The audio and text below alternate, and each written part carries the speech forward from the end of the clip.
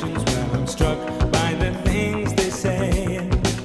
It seems they've traded the years for mere complications. Who ever thought it could end this way? They close the door, but they can't lock it. Something.